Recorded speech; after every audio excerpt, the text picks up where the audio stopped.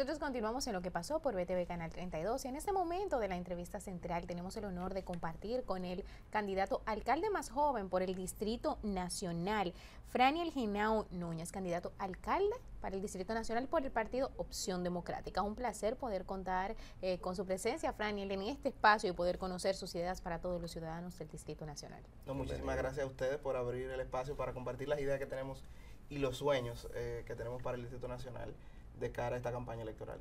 Así es, ¿no? Y como, Bienvenido, Fran. Y como tú dices, me dedico a materializar las ideas cada vez que puedo. Así es. Entonces, pues nos gustaría que nos hables un poco sobre la propuesta de Franiel Genao eh, como futuro alcalde o como aspirante a alcalde para eh, el Distrito Nacional. Mira, nosotros hemos hecho esta campaña eh, en base a tres ejes, que son la planificación. Nosotros entendemos que el Distrito Nacional le falta planificación, le falta sentido de ciudad y eso es lo que nosotros queremos hacer una vez ser electos como alcalde de esta ciudad. Comenzar a planificar y organizar esta ciudad de cara a los retos que tiene el, Distrito Nacional, sobre todo los retos que tenemos de cara al cambio climático. Eh, nosotros no podemos permitir que en el Distrito Nacional se vuelva a repetir las lluvias de noviembre. Nosotros no podemos permitir que la explosión de Villa Agrícola vuelva a suceder. Y eso se debe mucho a la falta de planificación, a la construcción indebida eh, en muchísimas zonas de la ciudad, porque en noviembre, por ejemplo, no se inundó solo aquellos puntos críticos que suelen ser inundables eh, por su proximidad con las cañadas, sino el centro de la ciudad, producto de las malas construcciones que hay, eh, falta de la regulación en términos de densidad poblacional, en términos de servicios públicos que necesita esta ciudad. Entonces nosotros queremos planificar esta ciudad, planificarla pensando en el cambio climático, eh, planificarla de cara a que esos tipos de cosas no vuelvan a suceder. Nosotros queremos resolver el problema de movilidad que tiene el Distrito Nacional. Hoy no importa si usted quiere moverse a pie, si usted lo hace en un triciclo, en una bicicleta, si lo hace en su carro particular o lo hace ya en las opciones de transporte colectivo, parece ya una odisea moverse en el Distrito Nacional. Y entonces nosotros queremos resolver ese problema y para eso hemos eh, establecido una serie de propuestas en nuestro plan de trabajo, en nuestro plan de gobierno, que fuimos el primer candidato que lo presenta. También nosotros queremos resolver el problema de la inseguridad pública que vive el Distrito Nacional.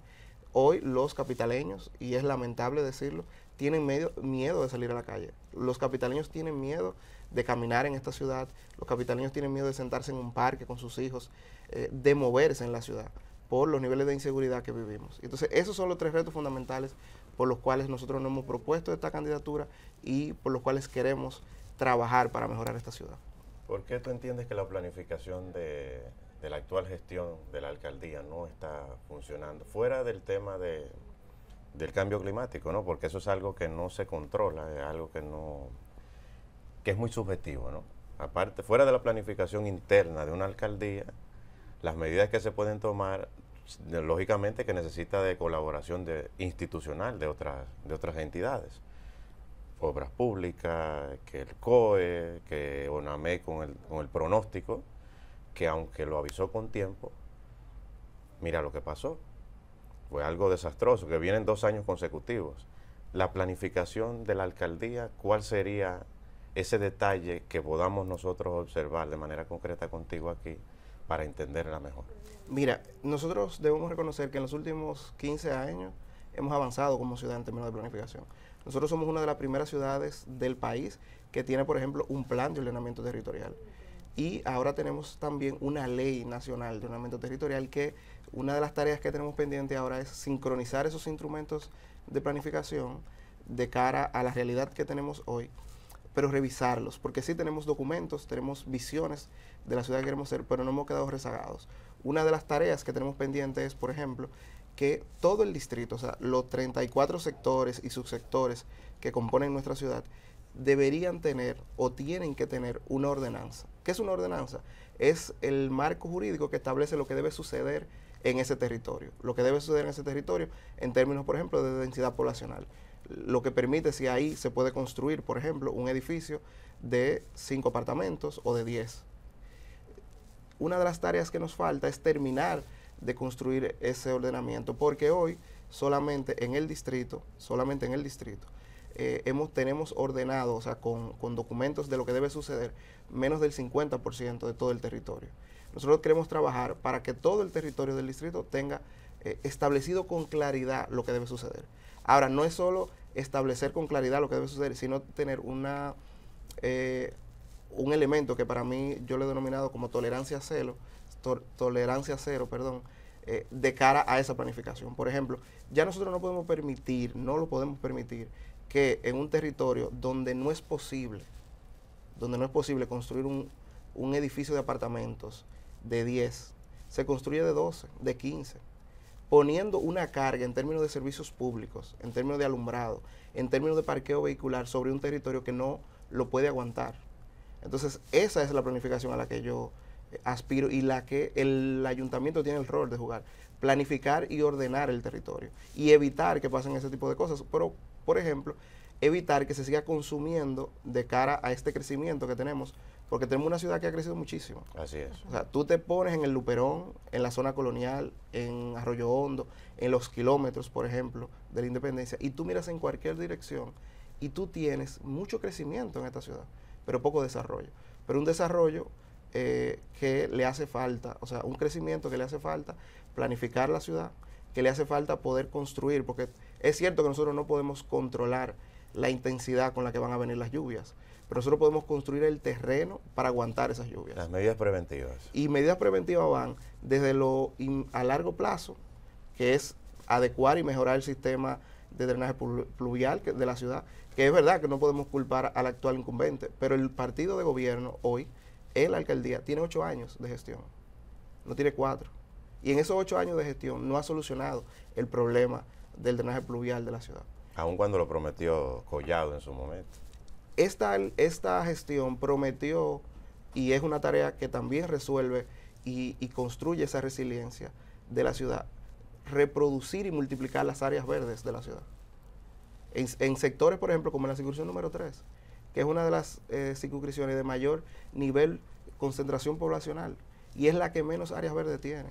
En promedio, lo que establece la Organización Mundial de la Salud es que debemos tener entre 9 y 12 metros de áreas verdes por persona. En la circunscripción número 3, hoy, tenemos menos de 4 metros de área verde por persona. Y esa área verde, ese campo verde, ayuda muchísimo a resistir las lluvias.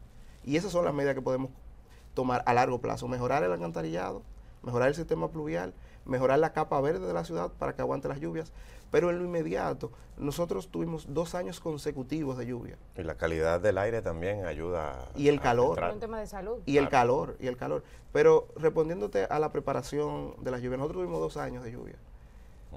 Un año es, posible que pase y que, y que lo toleremos y que digamos, mira, esto nos sorprendió a todos. Pero dos años consecutivos, que suceda lo mismo que se inunde el centro de la ciudad. Yo creo que eso tiene que tener un costo y, yo invito a la ciudadanía que me ve a que el próximo 18 de febrero le ponga un costo a esa irresponsabilidad que tuvimos con nuestra ciudad. Nosotros estamos hablando del tema de la organización ¿no? Eh, o de la prevención. Aquí estamos hablando también de que tenemos una ciudad que en algunas zonas eh, todavía hay un tema para la recogida de la basura, que se ve cúmulo de basura. ¿Cómo, cómo, cómo enfrentaría Fran y el Genao eh, esa situación eh, dentro de la alcaldía? Mira, yo creo que hay que ampliar el programa de recogida de basura nocturna. Creo que los dos turnos que se han establecido hasta ahora han sido positivos en el sentido de que tenemos, y eso hay que reconocerlo, y que no es solo de la, del actual incumbente, sino que viene desde hace mucho tiempo. Hay un sistema ha funcionado hasta ahora, pero creo que hay que reforzarlo, sobre todo reforzarlo en los territorios más lejos del polígono central, porque el, problema de la basura en territorios como la circunscripción número 2, en Sánchez La Fe, en Cristo Rey, en el mismo Arroyo Hondo, o en lugares como el Sánchez Luperón, o el Espaillat, o el Simón Bolívar en la circunscripción número 3, no es igual como está sucediendo en la circunscripción número 1, donde tenemos un sistema de recogida de basura eficiente.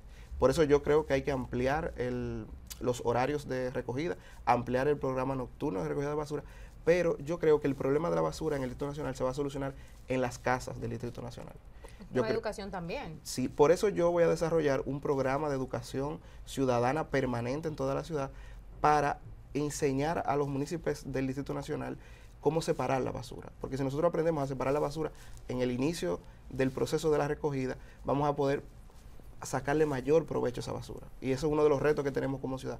Cómo nosotros convertimos la basura en un, en un commodity, cómo convertimos la basura en un bien que podamos vender, que podamos reciclar para poder de ese, de ese material orgánico e inorgánico sacar provecho. La República Dominicana hace un, la última vez que tuve acceso a la información de esa parte, vende la basura creo que a China o Japón, no recuerdo cuál de los dos países, a un costo de algunos 5 millones de dólares en aquel momento. Me imagino que eso habrá subido porque todo después de la pandemia subió. Si estamos recaudando desde ahí con una clasificación de la basura que ya existe, pero que no se deja ver hacia la población, de qué manera y cuáles son los beneficios y en qué se está gastando eso. ¿Tú entiendes que desde la alcaldía pudieras tener algún control de algún acuerdo para controlar esa parte? Yo creo que sí, y por eso, y por eso planteo ese programa de, que mejoremos, ya no solo que hagamos la clasificación en el punto final, que son esos centros de acopio donde se lleva la basura, sino que lo hagamos desde la casa. Y en un programa conjunto con el sector privado, sobre todo, y el Poder Ejecutivo que gestiona los vertederos que tenemos ahora, ver cómo la alcaldía puede tener un beneficio para poder activar y financiar las actividades que queremos hacer. Nosotros queremos aquí, en el Distrito Nacional, desde nuestra alcaldía, por ejemplo, hacer un circuito de bibliotecas públicas en todo el Distrito Nacional. Que nosotros tengamos una red de bibliotecas públicas en todo esos sectores del distrito para promover la cultura. Pero también nosotros queremos hacer algo que para mí me parece importante y es que yo quiero hacer un levantamiento de todo el talento local de nuestra capital. Todos los actores que nosotros tenemos, los cantantes, las bandas de música, de todos los géneros, de todos los géneros. Porque nosotros tenemos una ciudad vibrante en términos de música, de música urbana, de merengue, de bachata, pero también de rock. Nosotros tenemos una ciudad de rockeros que no tienen un espacio. ¿Y qué yo quiero hacer entonces cuando hagamos ese levantamiento de todo ese talento que tenemos de la ciudad? Yo quiero que todos los parques de la ciudad, que cada domingo en un sector del Distrito Nacional con ese talento local, nosotros activemos los parques de la ciudad. Porque si nosotros activamos los parques, si nosotros activamos eso que yo he denominado un circuito cultural, nosotros vamos a tener mayores opciones para la gente, para disfrutar la ciudad, pero también para salir. Porque a mayor presencia de gente en la calle, mayor es el nivel que va a reducirse la inseguridad de nuestra ciudad. Y bastante interesante. No quiero sonar cliché ya para, eh, para, para, finalizar. No creo que se nos vaya el espacio sin esta pregunta. No quiero sonar cliché ni sectaria en temas de juventud, pero como joven eh, me parece interesante y me gustaría saber cuáles planes puntuales eh, tendríamos con una alcaldía que estuviera presidida por, por ti, ¿no? la juventud. Lo primero es cumplir con la inversión que hay que hacer en la juventud de cara a los porcientos que establece la ley, pero para mí el, mejor desarrollo que nosotros podemos darle a los jóvenes, la mayor participación que podemos darle a los jóvenes es teniendo una ciudad planificada, es teniendo una ciudad preparada para resolver los problemas de tránsito, es teniendo una ciudad que le podamos dejar a nuestros hijos. Yo, y lo digo con mucho egoísmo, yo quiero que mis hijos vivan en esta ciudad. Ahora, esta ciudad, en, en los términos en los que se encuentra en este momento, no es la ciudad que yo quiero dejarle a mi familia. De acuerdo. Finalmente, ¿cuál sería tu posición en el tema de los teteos seguros que se está promoviendo desde el Ministerio de la Juventud? Bueno, yo creo que hay que buscar formas de involucrar a la población eh, en, las actividades públicas que tenemos que hacer desde los poderes del Estado. Eh, y creo que habría que pensar bien el enfoque de lo que se le da en el sentido de no comunicar eh, desde las instancias del Estado un mensaje incorrecto sobre lo que debe ser eh, y lo que no debe y lo que no debe pasar con los jóvenes hoy. Bueno, pues muchísimas gracias, eh, Franiel Genao. Bastante interesante tu propuesta para el Instituto Nacional y creo que también tiene un enfoque bastante interesante para la juventud que juega un rol eh, fundamental de cara a las elecciones tanto de febrero y de mayo. Este es tu espacio, esperamos eh, ya luego tenerte como, como invitado nuevamente, pues tratando más temas de interés para la ciudadanía. Agradecerle también a todos ustedes que cada mañana nos honran con su sintonía. Nos vemos en una próxima ocasión en lo que pasó por BTV Canal 32.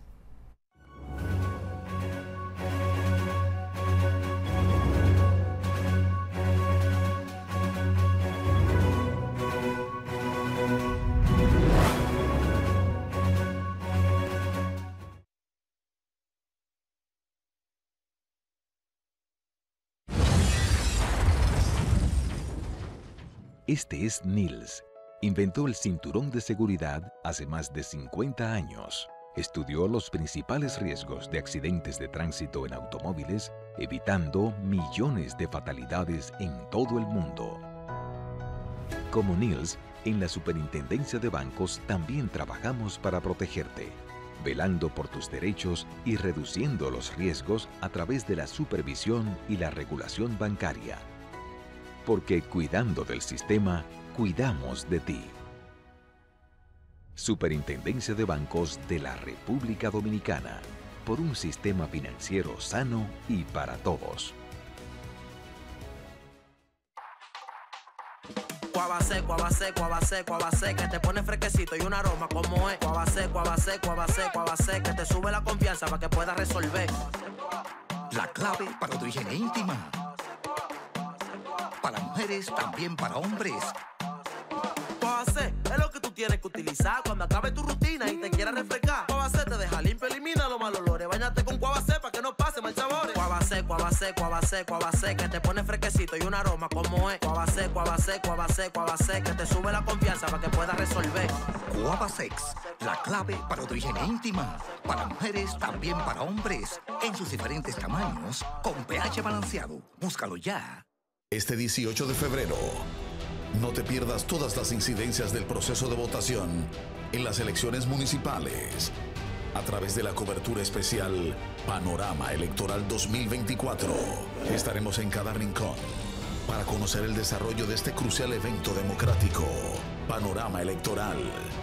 Análisis, información exclusiva, entrevistas con los candidatos de tu demarcación y el pulso en tiempo real de la participación ciudadana. Panorama Electoral 2024, domingo 18, desde las 6 de la mañana, por VTV Canal 32 y todas nuestras plataformas digitales.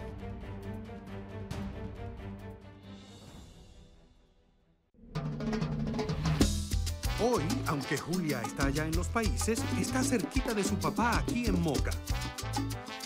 Enviándole los chilitos de la compra del mes por la nueva app Remesas Reservas. Al igual que Nicole, que va corriendo a montarse en la estación de Gran Vía en Madrid. Y puede enviarle todo el cariño a su mamá por la nueva app Remesas Reservas.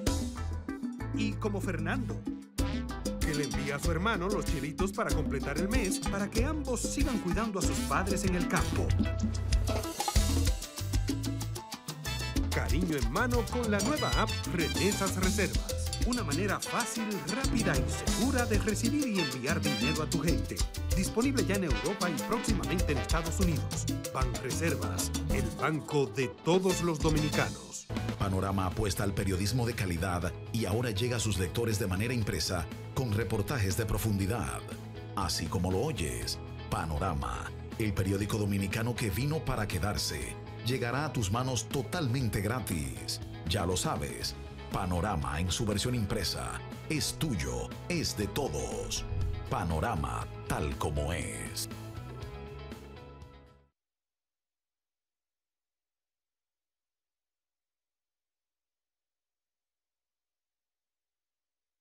Panorama apuesta.